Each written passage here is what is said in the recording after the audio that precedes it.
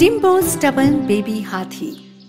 दूर देश में एक जंगल में डिम्बो नाम का एक हाथी का बच्चा रहता था, जो अपने माता पिता के साथ रहता था। वो जंगल के जीवन से उब चुका था और दूर तक जाना चाहता था और नई जगहों का पता लगाना चाहता था। वो जंगल में सभी जगह जाना चाहता था और नए लोगों से मिलना चाहता था पर उसका छोटा दोस्त चूहा उसे बताता रहता कि दुनिया बहुत बड़ी है और ऐसी बहुत सी जगह है जो उसने नहीं देखी।